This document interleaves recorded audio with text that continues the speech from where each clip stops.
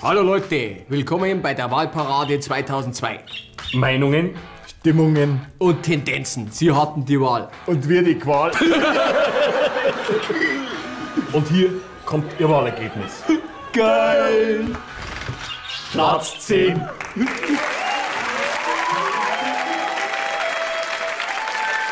Computerlogbuch Nummer 1 von unserem Traumschiff Captain Cork. Früher war alles besser.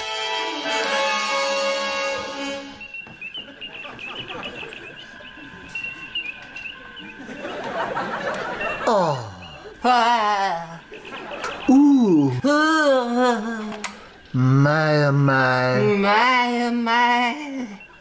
Machst du mich schon wieder nach? Nein, Was hast du denn dann? eine Schlechtwetterfront. So ein Teil von der Biskaya. Stell dir vor, das Tief Gabi unterdrückt unser Hoch Eberhard. Das ist ja grauenvoll. Und was kriegen wir rein?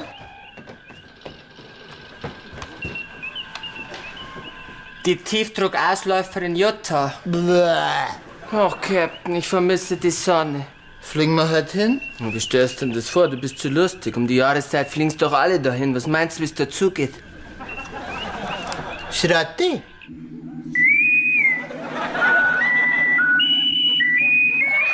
Geh, hör doch auf mit der blöden Flöterei. Was ist denn? Komm sofort mit Knabbereien auf die Brücke. Wir möchten unseren Lieblingsfilm anschauen. Ja! Licht aus. Licht ist aus, mein Captain. Film ab. Film läuft.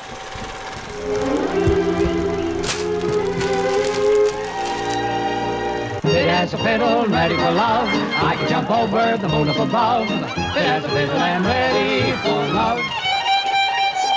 Haven't a worry, haven't a care. Feel like a feather between It has a fiddle and ready for love.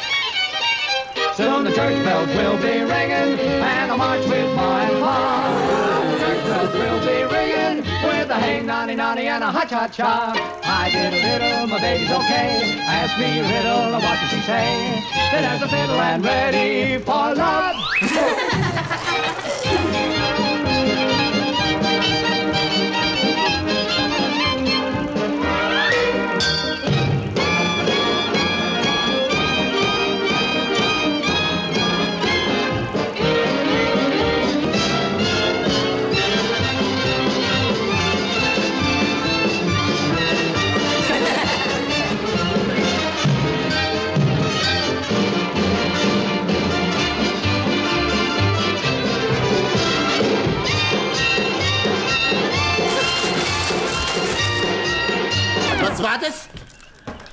Polizeikontrolle.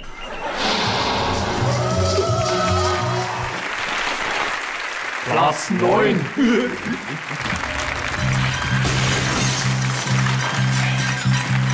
Also, wir machen hier. Aber sag mal, kurz mal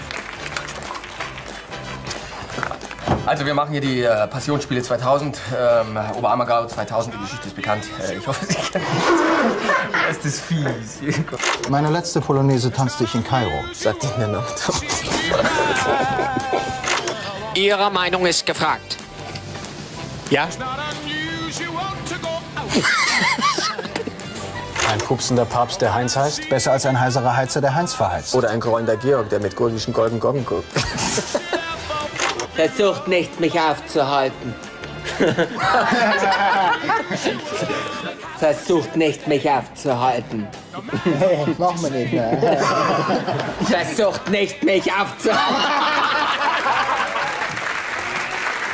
Ich kann nicht folgen, Franz. Natürlich nicht, weil er aus ist. Na, wer? Der Weg. Der Weg ist aus? Bravo, Sissi.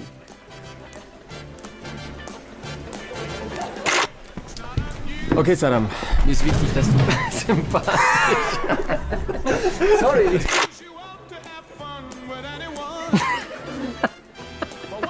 Freeze, Könnte stundenlang so stehen, ohne den Text zu wissen. Okay. Uh, shut the sheriff. But it was no, no. Scheiße. Warte. Okay, Saddam. Mir ist wichtig, dass du sympathisch rüberkommst. Sympathisch. Jawohl. Okay, Boss. Jawohl. Zwei, drei. Ja. Okay, dann wollen wir mal. Was? Uh, shot the sheriff. But I wasn't the not shot the deputy.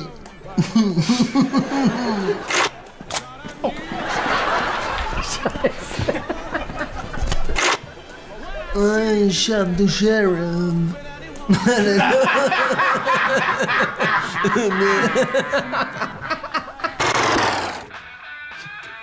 Wir sind zurück bei Der großen Wahlparade 2002. Du Lutz, was gibt's Löffler? Wenn du mich fragst, riecht es hier ganz extrem nach einer Wahlschlappe. Kein Wunder, ich habe auch eine an. Spaß beiseite. Jetzt wird's spannend. Hier kommt die erste Hochrechnung.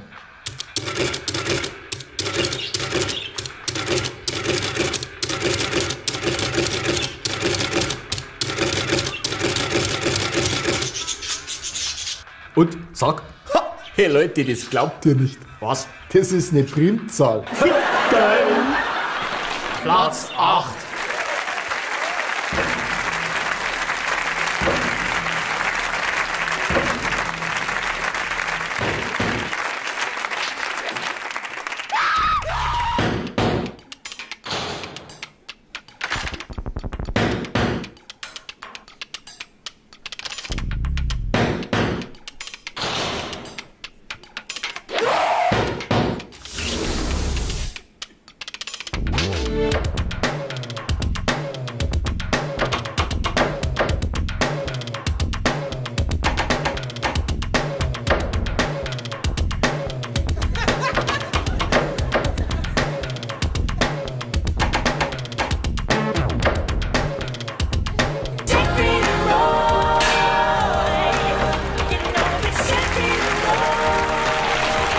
7.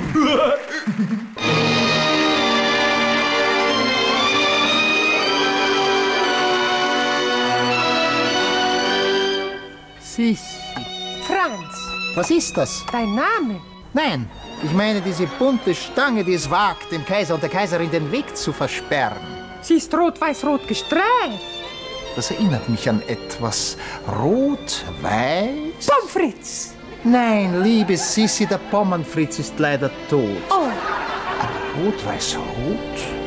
Natürlich, unsere Landesfarben. Liebe Sissi, wir sind in Österreich. willkommen daheim. Halt! Stehen bleiben und Hände hoch, ihr verschissenen Monarchenschweine! Nicht in diesem Ton. Halt! Stehen bleiben und Hände hoch, ihr verschissenen monarchischen Schweine. Besser. Was macht ihr auf unserem Grundstück Österreich? Das habe ich gekauft. Warum?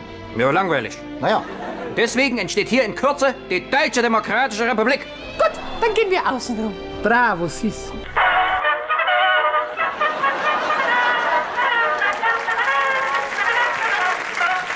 Hallo Wahlpeople. Seid ihr auch schon scharf auf neue Wahltrends? Dann holt sie euch beim Löffler. Danke, Ronny.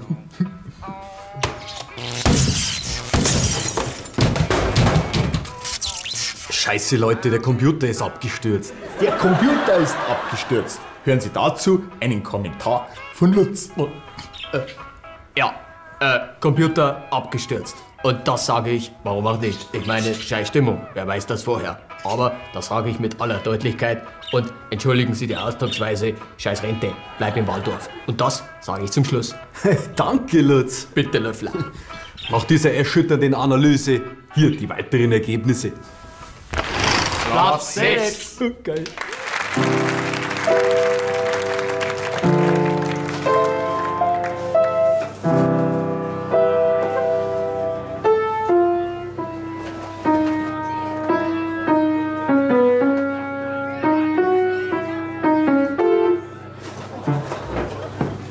Spiel's nochmal, Sam.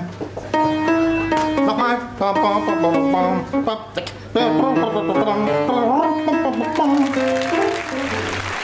Platz 5.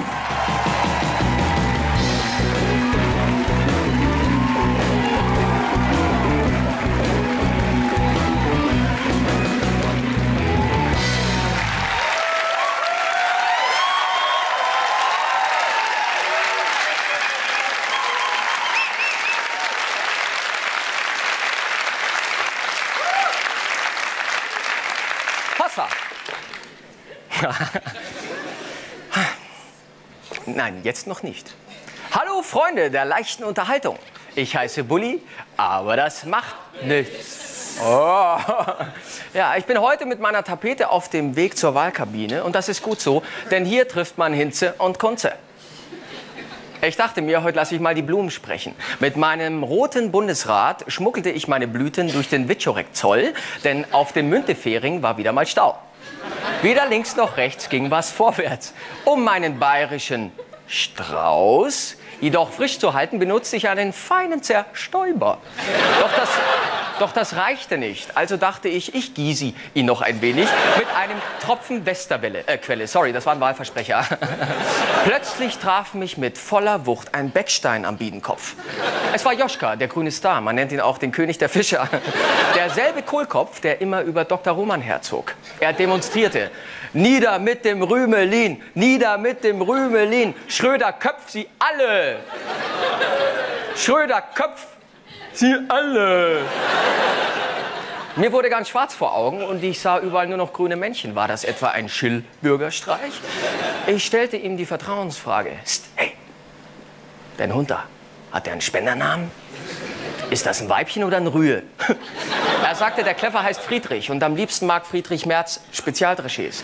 Und jetzt gehen wir nicht länger auf den Eichel, sonst mache ich aus dir ein Scharping. Na warte, sagte ich ziemlich rau, das merke ich mir. Eines schönen Tages, da weigel ich dich windelweich. Der Kanzler dann mal gucken, wo du dein abgestandenes Chili con Carne herbekommst. Beleidigt sprang er hoch auf den gelben Wagen, der wo bereit stand.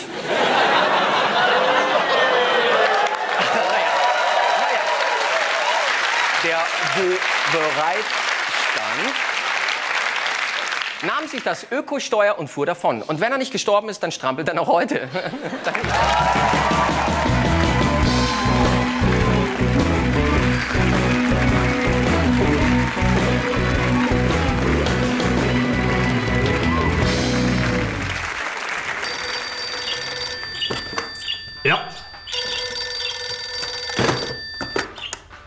Löffler, bist du's? Ja, Ronny, was gibt's? Haben wir noch Zucker zu Hause? Oh, da muss ich mal nachfragen. Moment. Hey, Lutz, haben wir noch Zucker zu Hause? Nein. Nein. Geil. Ciao. Ciao. Mit oder ohne Zucker? Sie hatten die Wahl.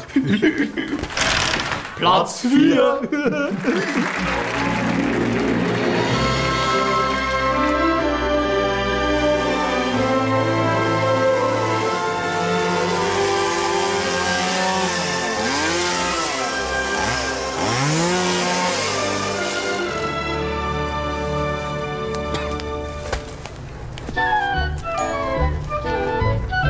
Ich suche Dornröschen. Ich nix Dornhöschen. Ich Rüdkübchen, Türkei. Ach du Scheiße. Okay, ich suche eine Frau. 100 Jahre schlafen. Rüdkübchen nix schlafen. Rüdkübchen immer Arbeit. Gut, anders. Ich suche einen König. Dorn, Hecken schneiden und so ein Käse. Prinz, was willst du von Dornhöschen? Dornhöschen Schlafmütze. Ich nix schlafen. Aber ich soll hierher kommen, die Hecken schneiden und dann heiraten. Bitte fick mich. Was? Ach nix, fick mich. Was? Fick mich. Kann man das senden? Fick mich. Ja! Und wenn sie nicht gestorben sind, dann fücken sie noch heute. Platz 3.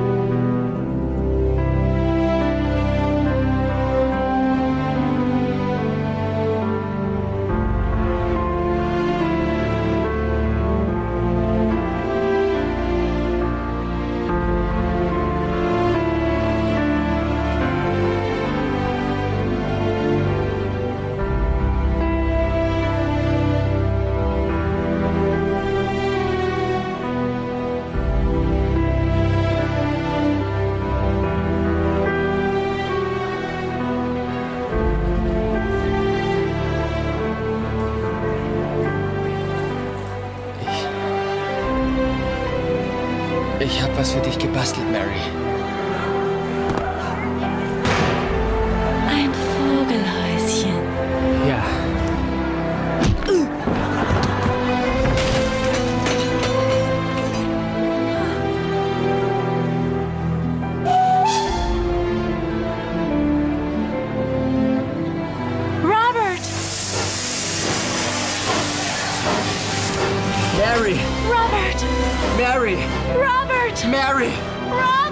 Mary! Robert! Verdammt, Mary, so eine Scheiße, ich hab noch Sekundenkleber an den Händen! Verdammt, Mary, so eine Scheiße. Ich hab noch Sekundenkleber an den Händen. Jetzt im Kino.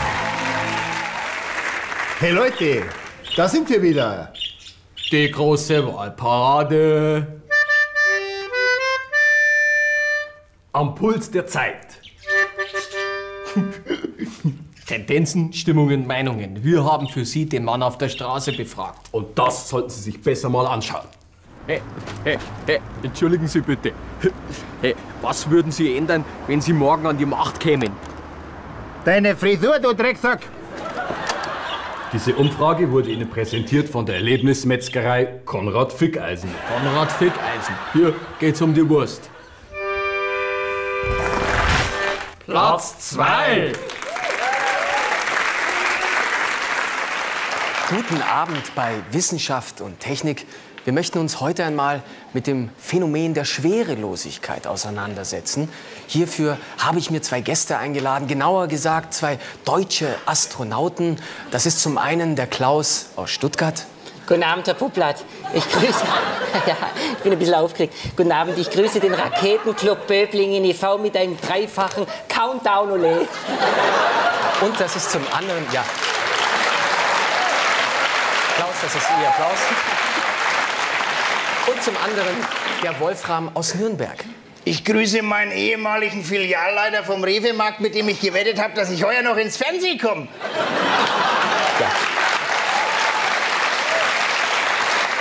Wichtiges Thema der bemannten Raumfahrt ist ja nun die Ernährung. Zurzeit bei Rewe im Angebot die Schokoladenlebkuchen, die ganze Palette für 30 Mark.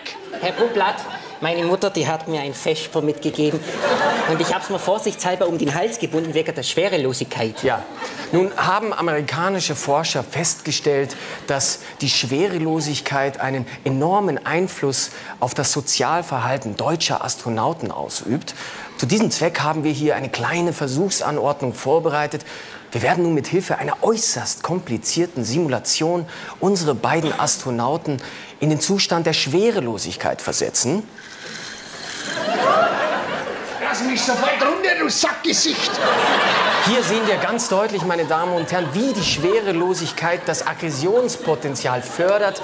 Amerikanische Forscher haben herausgefunden, dass dies, dass dies zurückzuführen ist auf eine Fehlfunktion im Gehirn. Herr Pupplat, der hat doch gar kein Gehirn. Halt's Maul, du Spätzlefresser, du stinkende! Komm halt rüber, du fränkische Note. Meine Damen und Herren, ganz anders sieht die Situation aus, wenn man die beiden schwerelosen deutschen Astronauten nun mit einem Weibchen konfrontiert. Wir haben das einmal vorbereitet.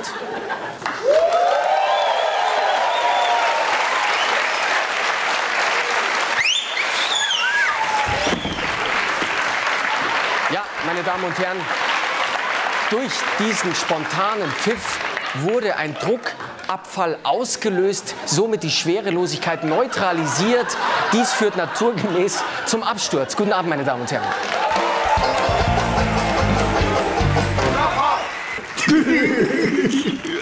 Liebe Wählerinnen und Wähler, Liebe Wahlberechtigten und Wahlberechtigtinnen, die Stimmen sind ausgezählt, das Ergebnis steht fest. geil. Hier nun eine Tortengrafik aus unserer Grafikabteilung.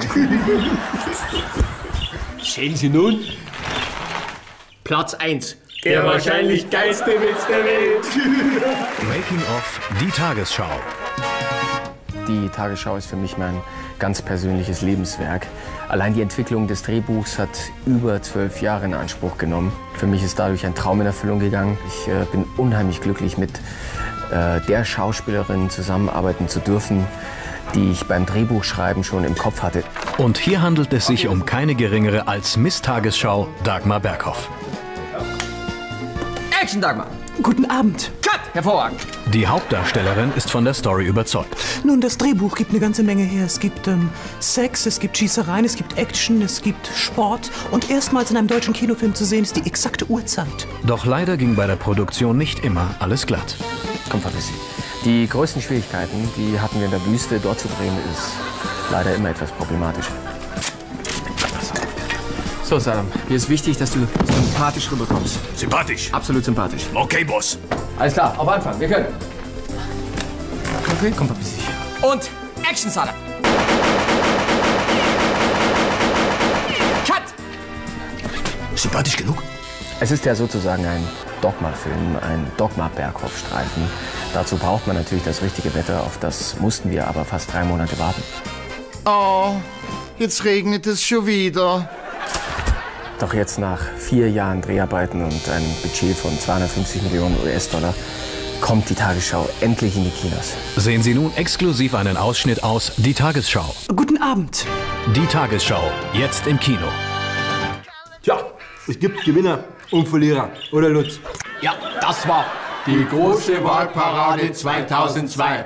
Bis zum nächsten Mal, wenn es im Ruhrpott wieder heißt: Rettet die Wortwahl! Peace!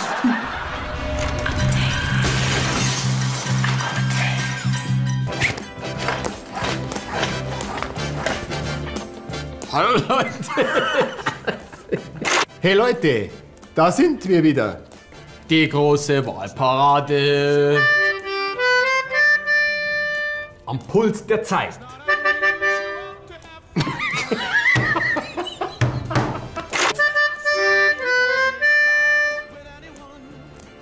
Am, Am Puls der Zeit. Am Puls der Zeit. Meinungen? Diese Umfrage wurde Ihnen präsentiert von der Erlebnismetzgerei Konrad Fickeisen. Metzgerei Fickeisen. Hier geht's um die Wurst.